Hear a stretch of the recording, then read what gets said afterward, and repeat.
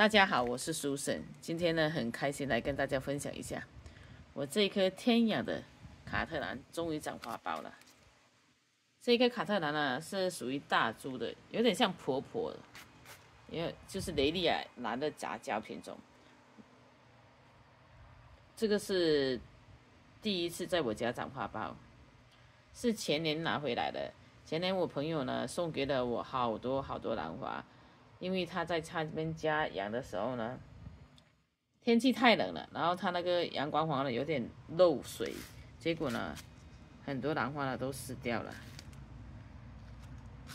卡特兰要开花呢，必须要这个梗呢长得高一点、大一点的。你看以前的这些都瘦瘦的，而且它开完花了，这个老梗等于没用了，它除了会繁殖作用以外就没有用了。这卡克兰呢，我是放在室外，然后呢，它是几天吧，就是说很热的时候，我每天浇水；不行的话，我就是两三天浇一次水，直接用水龙头的水喷栽而已。我这边的兰花都是一样，给大家看一下这个大明石，今天长得特别好。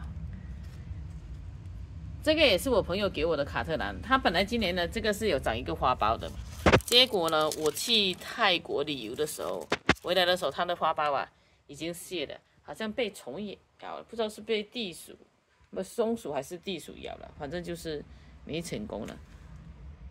像这一颗，我看看能不能成功。这是另外一颗卡特兰要开花了，这个不能扁扁的，像这种扁扁的一定不能开花，要像这种厚厚的。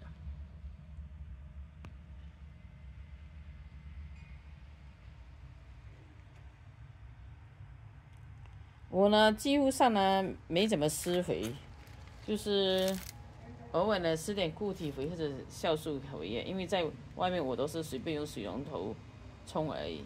这个呢在室外，它阳光没有直接晒到，可是是在室外，因为我二楼刚好可以挡住这个阳光。等到它开花的时候呢，我再来跟大家分享。等会呢，给它洗一洗，因为这边有很多蚂蚁，我就会用水冲一冲，然后拿到室内去。好，我今天呢就跟大家分享到这里，谢谢大家。